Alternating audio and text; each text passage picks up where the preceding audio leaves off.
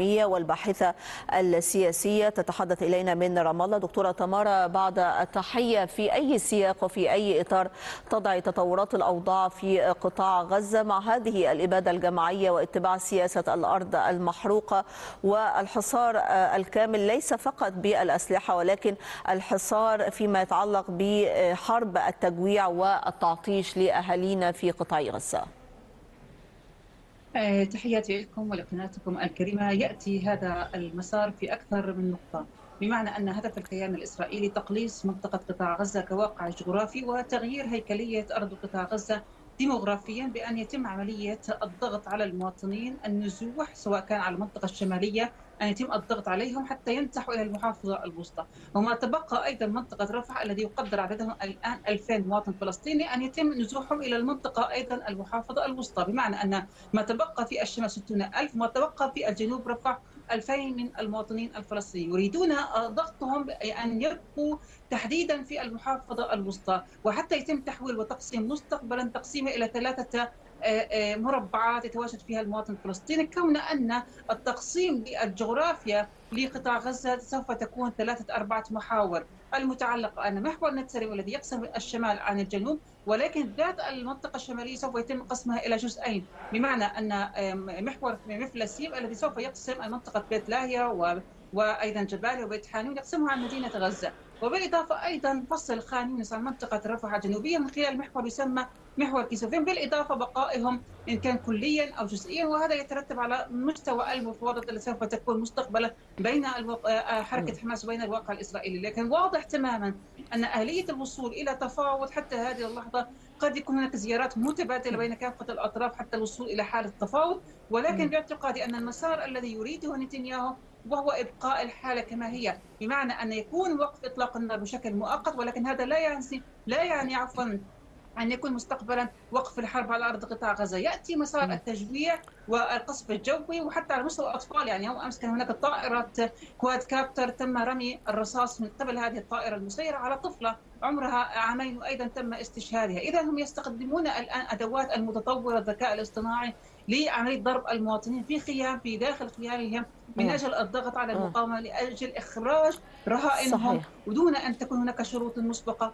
من قبل المقاومه ربما دكتورة تمارا اتصالا واتساقا بما ذكرتيه من كلمات بأن ما تحاول أن تسوقه إسرائيل من مزاعم واكاذيب وافتراءات بأن هذه الحرب هدفها بالأساس تصفية حركة المقاومة الإسلامية حماس. ولكن بالواقع والحقيقة الدامغة على الأرض هي تستهدف كل الشعب الفلسطيني وغالبيتهم من النساء والأطفال. ما الذي يمثله الطفل الفلسطيني من تهديد للأمن القومي الإسرائيلي حتى تستهدفه بهذا الشكل. وهذا يعكس ويترجم ويؤكد أن الاستهداف للشعب الفلسطيني وليس لفصيل فلسطيني بعينه.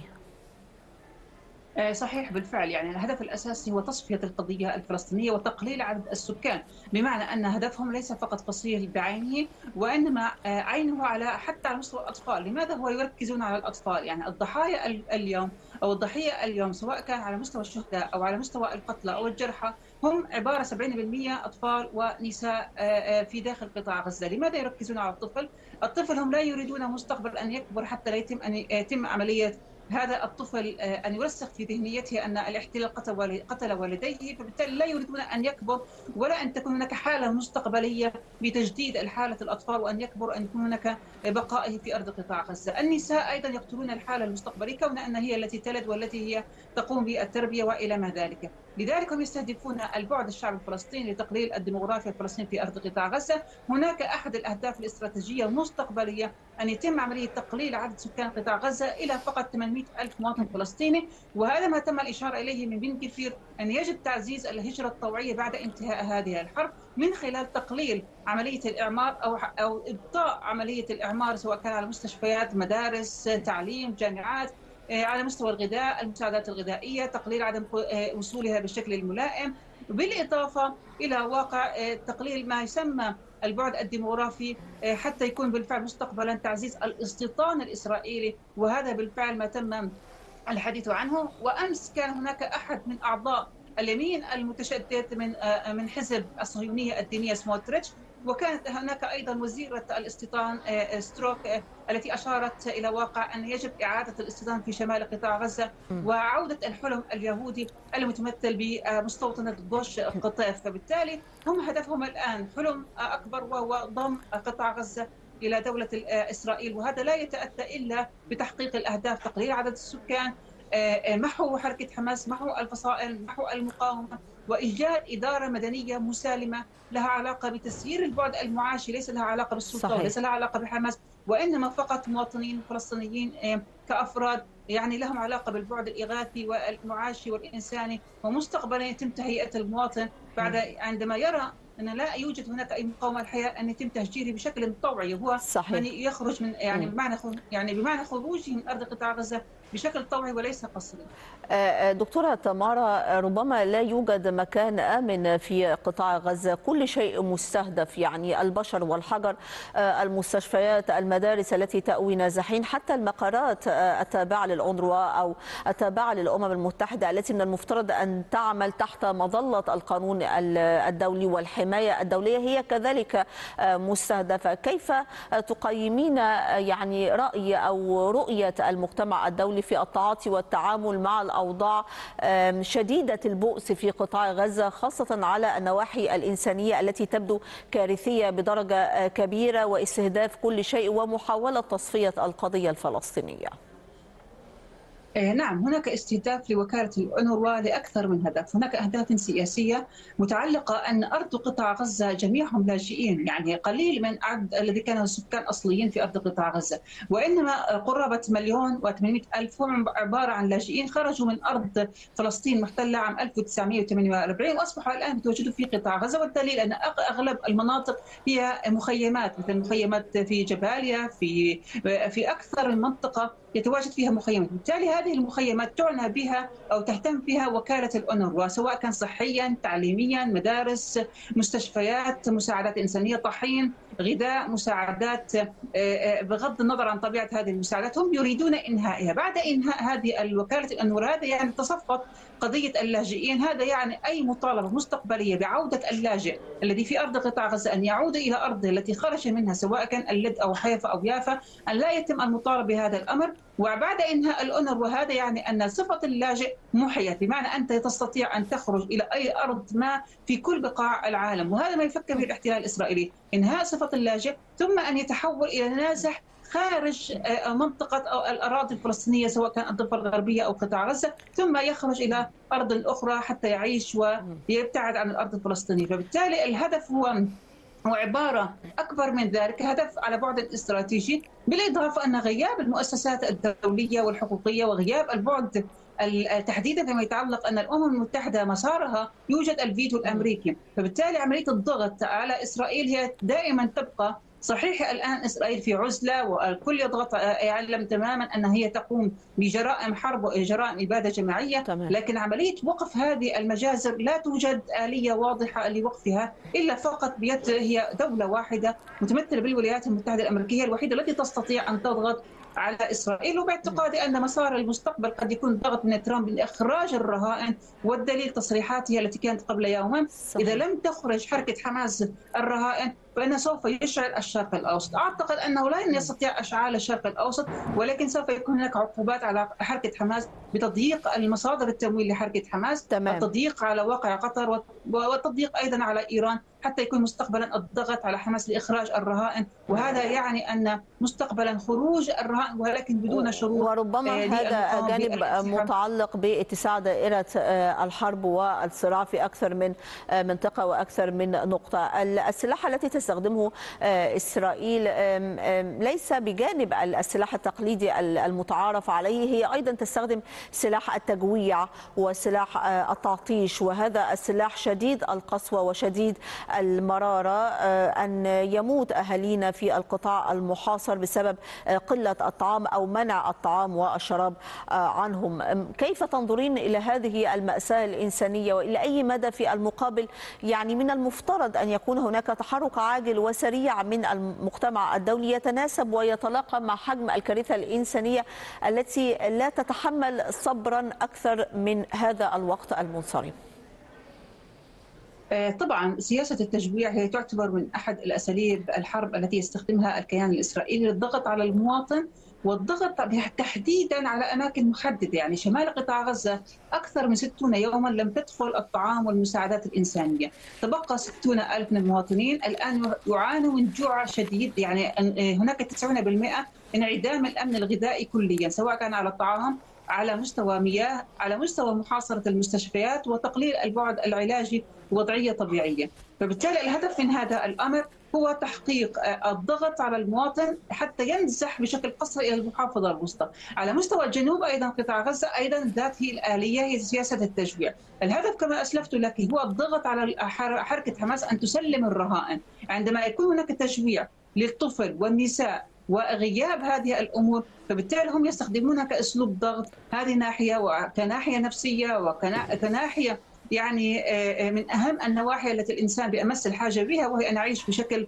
طبيعي تحديدا في مستوى الغذاء والطعام. فأعتقد أن هذا الأسلوب هو يعني أسلوب يصل إلى حالة الجرائم الحرب وهذا ما تم بالفعل خروج مذكره اعتقال بحق نتنياهو نتيجة أحد البنود وهي التجويع وباعتقادي أن على الدول النظر لهذا الأمر والضغط على إسرائيل لإدخال هذه المساعدات وناهيك أن هناك مؤتمر الاستجابة الإنسانية الذي ركز على البعد الغذائي والإنساني على يجب أن يكون هناك بالفعل حشد هذه المساعدات حتى وأيضا ضغط على إسرائيل حتى تفتح هذه المعابر أو فك الحصار وإدخال المساعدات وادخالها بغض النظر عن طبيعة المؤسسات التي تدخلها وأن تكون هذه المؤسسات ذات طابع محمي حتى لا يتم سرقة المساعدات في داخل قطاع غزة وتوزيعها بشكل متساوي مجاني للمواطنين الفلسطينيين. فبالتالي هذا الأمر بحاجة إلى ضغط المؤسسات الدولية حقوقية وإنسانية والمجتمع الذي يستطيع أن يمتلك أوراق قوة تحديدا الدول التي تملك أوراق قوة تستطيع أن تضغط على الولايات المتحدة الأمريكية ثم أن تضغط على إسرائيل بفك الحصار وإدخال هذه المساعدات حتى يقلل البعد التجويع وتحديدا صحيح. الأطفال الذي ليس له علاقة بالسياسة وليس له علاقة بحماس وليس له علاقة بالفصائل المقاومة، لذلك النظر إلى البعد الإنساني مهم جدا وأيضا إيجاد آلية لإنهاء هذه الحرب وإيجاد اليوم التالي متناسب على الأقل إنقاذ البعد الإنساني ما يمكن إنقاذه في أرض قطاع غزة. تحدثي عن أوراق الضغط. ما هي الأوراق المتاح استخدامها لتقويض إسرائيل قدر المستطاع ولكبح جماحها ولتقليم أظافرها وفقا للإمكانيات والقدرات المتاحة؟ إذا ما توفرت في المقابل بطبيعة الأحوال الإرادة الحقيقية الصادقة والنيه الجادة والرغبة الصادقة في حلحلة الأمور وفي احتواء واستيعاب الأزمة في فلسطين بشكل سريع وعاجل. بشكل سريع اولا أصبح هناك في الحالة العربية هناك موقف موحد. باتوا الآن عندما يتم استلام ترامب سدة الحكم باتوا الآن يريدون تقديم رؤية يجب إيجاد حل سياسي للقضية الفلسطينية. وأعتقد أن الحل صحيح أنه قد يكون عملية إخراج الرهائن. هو الحل الذي هو سريع. يعني بمعنى الحل السريع اليوم هو إخراج الرهائن لأن إسرائيل تتخذ ذريعة أن هناك رهائن في داخل قطاع غزة يجب استمرار الضغط والتشجيع والقصف الجوي باعتقادي أن تسليم الرهائن وبالإضافة أن يكون هناك مستقبلا مرحلية تدرجية انسحاب إسرائيل وتدرجية وقف إطلاق النار باعتقادي مهم جدا الآن النظر إلى هذا الحل السريع، الحل البعد ذات بعد سياسي أعتقد الموقف العربي الموحد برفع آلية يجب أن يكون هناك حالة الإعمار وإيجاد اليوم التالي بناحية سياسية وحل القضية الفلسطينية من جذورها وليس أن يكون هناك إدارة الصراع بل حل الصراع الفلسطيني الإسرائيلي، فبالتالي هناك حلول بسيطة ولكن هذه الحلول بحاجة إن حركة حماس بالفعل أن تكون هي تعلم أن إسرائيل متعنتة، الحل صحيح. الآن حركة حماس أن تنظر ليس فقط من أجل رواتب موظفيها أو أن يكون هناك إعطاء 400 جواز دبلوماسي أحمر حتى توافق على لجنة الإسناد التي يريد تريد حركة فتح، فبالتالي يجب النظر ليس للامتيازات الشخصية لحركة حماس وإنما لحقوق الشعب الفلسطيني بإدخال الطعام والشراب والمساعدات الغذائية والمنح التعليمية ومعالجة الجرحى. فنعم دكتورة تمارا ربما تحدثت في متن كلمتك منذ لحظات أن أنه ربما يكون أحد الحلول أو جزء من الحل تسليم حماس للرهائن الإسرائيلية. وفي المقابل ربما إسرائيل تعيد النظر في وقف الحرب أو في إعطاء هدنة. يرى البعض من المراقبين والمحللين والمتابعين وجهة نظر ربما تخالف وجهة نظرك أو رؤية أخرى.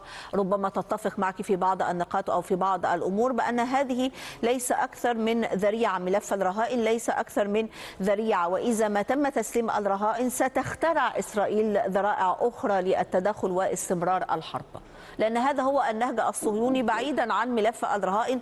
هذه هي العقيدة الصهيونية التي تنفذ على مدار سنوات عمر القضية الفلسطينية.